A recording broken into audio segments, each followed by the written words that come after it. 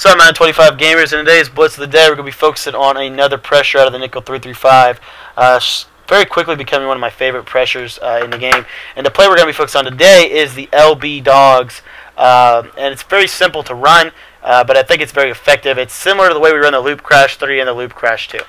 Alright, so the pressure is very simple. We're going to, and this is what I was talking about the other day, we're going to need to have something that, uh, when, we, when we shift the line to the right, we're going to need a man blitz to complement it. Well, here it is. Um, what we want to do is uh, just base align, shift the linebackers to the right, shift the defensive line to the right, crash the D-line out, and then I want you to just re-blitz that right of screen defensive end over there. And once you do that, you see uh, we're going to get that right edge pressure. Uh, and the cool part about the LB Dogs is it's very simple to set up if you are used to using your strategy pad quick links.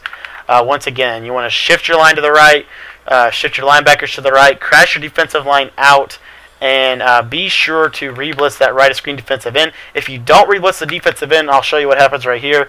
Uh, it still comes in, but it's not as clean, uh, and that could cause it a lot easier for them to hit you with the quick throws. Also, real quick, you don't actually have to base align out of this. It's just something I do out of habit uh, to make sure that I keep the same look every single time. You don't actually have to do that. Uh, the pressure will still come clean this year. What I also like to do, if I'm playing like this, is actually a, a really good play for third and long because what you can do this year with the way that the man align feature works, and their spread formation here shift your D line to the left, crash your D line out, shift your linebackers to the right, and then you're going to reblitz that D-end, and then you're just going to man align, and then you want to individually press um, everyone. So all the receivers, just individually press them. And what's going to happen is, if they try to throw streaks and stuff, then they're pressed, the streak's not open, they don't have time to throw uh, because the pressure comes in so quick. So it's really just a nice play that we can add to our arsenal uh, out of the right edge. Now, real quick, I want to show you how to get it off the left as well. Um, so if we want to get it off the left, and this is where base align comes into play.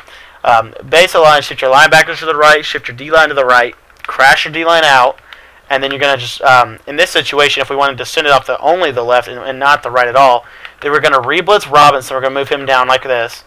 And then we're going to grab uh, Houston over here, and we're going to buzz zone him, uh, put him in a purple zone. And what I like to do is if I'm doing this, I'll run man on one side of the field and zone on the other side. So I'll take this safety and man him up on my cluster, and then I'll grab onto the middle linebacker here, put him in a buzz, yellow berry, and then yellow flowers. And now we have a, actually a pretty nice coverage to the right side of the field, and we have man on the left.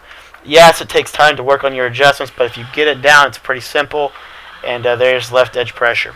Uh, real quick, we'll do two-way. Uh, you can do it. It's just a combination of left and right combined. So uh, base the line, shift your D line to the right, crash your D line out, shift your linebackers to the right, re-blitz that right of screen D and then re-blitz Robinson, slide him down. If I do this, I'll man up that safety on that slot guy, and I'll I'll just uh, play really aggressive, and then I'll make I'll throw uh, Johnson into a deep blue and give up the underneath stuff. This is for uh, third and really long to, to stop him there. So that is the basic pressures out of the LB Dogs, guys. Uh, pretty decent pressure out of the 335. If you have any questions, let me know. Uh, if you have any comments or suggestions on how you would like uh, maybe a blitz broken down or something, let me know. I'll try to get it done as soon as possible. Thanks for watching today. Be sure to check out some of our other content on the daily. There's a lot of content on the channel already, and there will be a lot of content to come. So be sure to subscribe if you aren't already so you can be notified of when that content comes out. Thanks for watching, guys. We'll see you tomorrow.